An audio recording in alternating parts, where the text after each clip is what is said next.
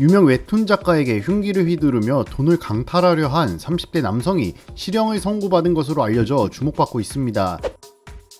수원지법 형사 11부 신진우 부장판사는 지난달 30일 강도상해 혐의로 기소된 A씨에 대해 징역 3년 6월에 실형을 선고했다. 라고 16일 한 언론 매체를 통해 보도되었는데요. 가해자 A씨는 지인들로부터 돈을 빌려 주식 투자를 하다가 큰 손실이 발생하자 재산이 많을 것으로 보이는 웹툰 작가 B씨로부터 돈을 뺏을 계획을 세운 것으로 전해졌습니다. B씨는 큰 인기를 얻고 있는 웹툰 작가로 현재 주호민 씨로 알려져 있는데요. A씨는 유튜브 영상과 인터넷 검색 등을 통해 주호민 씨의 집 주소를 알아내 지난 5월 사전 답사까지 마친 것으로 알려졌죠. 범행 전날에는 마트에서 칼, 망치, 로프, 검정색 옷과 복면 등을 구매하고 집 앞에서 주호민 씨가 나타나길 기다리다가 다음날 새벽쯤 옥상 철제 펜스에 로프를 묶어 타고 내려오는 방법으로 자택 마당에 침입한 것으로 알려졌습니다. 집 안까지 들어온 A씨는 아침을 준비하던 주호민 씨를 향해 칼을 찌르듯이 휘둘러 손목 등에 약 2주간의 치료가 필요한 상해를 가했다고 전해졌죠. 그는 미리 준비한 종이 두 장을 주호영 씨에게 건네며 6억 3천만 원을 요구했지만 주호영 씨의 아내가 신고해 출동한